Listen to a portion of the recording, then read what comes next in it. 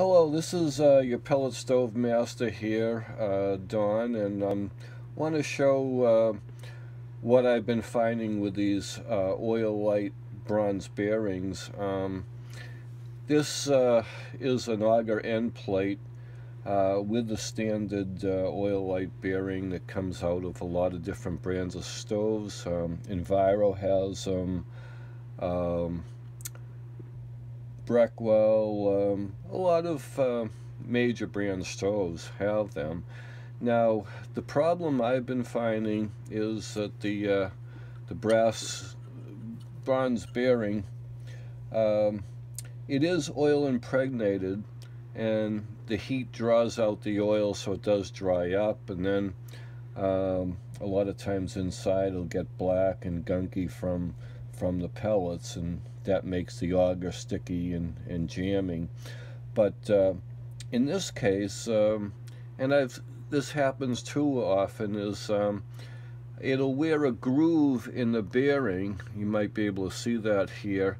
And um, what happens is when the auger turns, uh, the bearing turns inside the uh, end plate.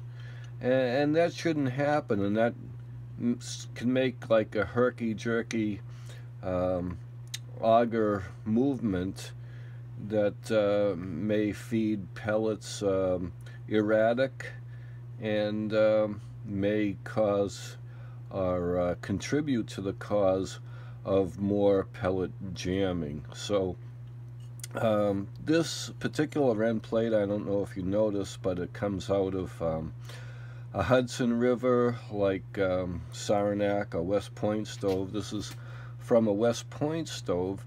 And um, in this case, uh, we're fortunate because it has a nice heavy duty um, stainless steel auger with a um, which is three quarter inches in diameter. Now, Dr. Whitfield in his um, infinite wisdom there on pellet stoves developed uh, a three-quarter inch Nylatron uh, auger bearing. Uh, it's um, hard, but it has some give to it. Um, it's permanently lubricated. Uh, it's threaded, and it's got a nut on it, so it will not turn inside the auger end plate. It's um, I think for a top feeding pellet stove, the best bearing on the market. Unfortunately, if you don't have a three quarter inch auger, um, then you have to uh, use either a high temperature nylon bearing, which um, uh, you can get for the 5 eighths diameter augers, or the half inch augers, uh, just getting a new fresh um, Oilite bearing will still give you um, another five years of, of good life. Um, so um, in this case, um, the Nylatron bearing is the same inside diameter, the three quarter inches.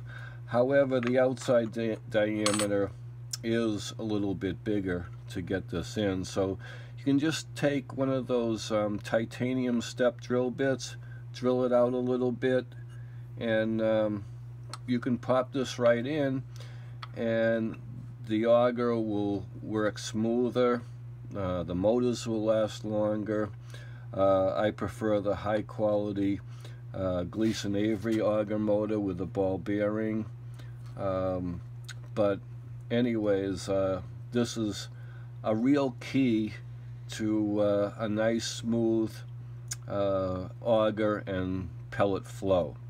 Uh, this is Don Pellet Stove Master and thank you for watching. Have a good night.